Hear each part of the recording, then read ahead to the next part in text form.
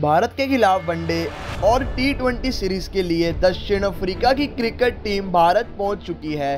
इस दौरे में दक्षिण अफ्रीका को भारत के खिलाफ तीन वनडे और तीन टी ट्वेंटी खेलने हैं। भारत में सभी दक्षिण अफ्रीकी खिलाड़ियों का स्वागत पारंपरिक तरीके से हुआ। भारतीय लड़कियों ने मेहमान टीम के खिलाड़ियों की आरती उतारी। उन्हें तिलक लगाकर माला भी पहनाई। इसी दौरान सभी लड़कियाँ पारंपरिक साड़ी में थी। हालाँकि दक्षिण अफ्रीका की टीम में शामिल अधिकतर खिलाड़ी आईपीएल में खेलते हैं। उनके लिए भारतीय रीति रिवाज बहुत नए नहीं हैं।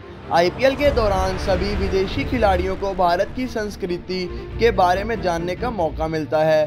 भारत और दक्षिण अफ्रीका के बीच टी सीरीज़ 28 सितंबर को पहला मैच है। पहला मैच तिरुवनंतपुरम के ग्रीन फिलैंड स्टेडियम में खेला जाएगा। वहीं दूसरा मैच 2 अक्टूबर को गुवाहाटी में और तीसरा मैच 4 अक्टूबर को इंदौर में खेला जाएगा।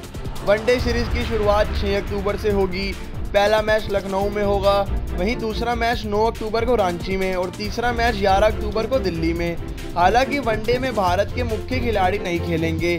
टी ट्वेंटी विश्व कप में शामिल भारतीय खिलाड़ियों को इस सीरीज़ में आराम दिया जाएगा और शिखर धवन की कप्तानी में युवा खिलाड़ी दक्षिण अफ्रीका के खिलाफ खेलेंगे।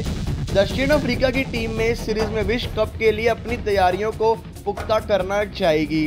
बबूमा की कप्तानी में दक्षिण अफ्रीका ने शानदार प्रदर्शन किया है और टी ट्वेंटी विश्व कप में इस बार यह टीम बड़ी टीमों को हरा सकती है। हालाँकि आईसीसी टूर्नामेंट में दक्षिण अफ्रीका का प्रदर्शन अच्छा नहीं रहा है। फ़िलहाल के लिए बस इतना ही। अन्य बड़ी खबरें जानने के लिए देखते रहें न्यूज़ साइट। धन्यवाद।